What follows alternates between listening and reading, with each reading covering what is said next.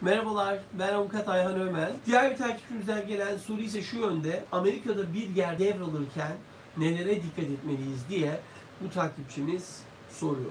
Şimdi siz eğer Amerika'da bir yer alırken ne kastettiğiniz bir iş yeri ya da bir şirket ya da ticari bir yeri devralırken nelere dikkat etmeniz gerektiğini soruyorsanız şimdi öncelikle tabii burada dikkat etmeniz gereken nokta e, satın alacağınız ya da devralacağınız yerin incelemesini doğru bir şekilde yapmanız.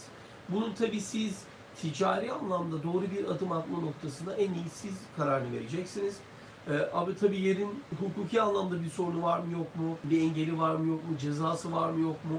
Bu noktadaki e, ihtiyacı ya da bilgiyi de bir avukat aracılığıyla elde edeceksiniz.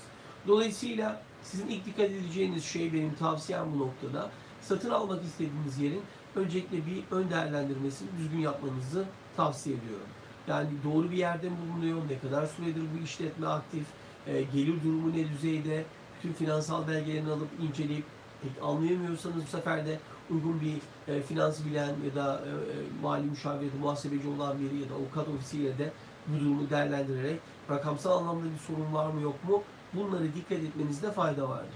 Ve diğer e, bir şey ise devralırken dikkat edeceğiniz, siz tabii yeri devralırken orayı işleten kişiden devralıyorsunuz. Aynı anda mülk sahibinden devralacağınız kira sözleşmesindeki durumları da değerlendirmeniz önemli olacaktır. Yani kira sözleşmesinde ne kadar süre kalmıştır, yükümlülükleri nelerdir, kiracı neleri ödemekle yükümlüdür, işte mülk sahibinin neler yapması gerekiyor. Bunlara da dikkat etmeniz gerekecektir. Ve bir de tabii yeri satın alırken kesinlikle e, işletenin devredici e, size devretmesinin yeterli değil ve aynı anda da mülk sahibinin de size kira sözleşmesini devrediyor olmasına dikkat etmenizde fayda vardır.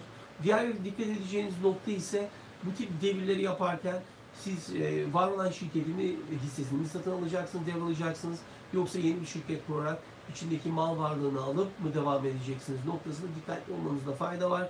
Çünkü var olan bir şirketi direkt alma noktasında siz o şirketin ne kadar sözleşmelerle sorumluluğu satandadır diye tutsanız bile günün sonunda şirketin sahibi olarak borçlarıyla ya da cezalarıyla karşı karşıya kalacağınızı unutmayın.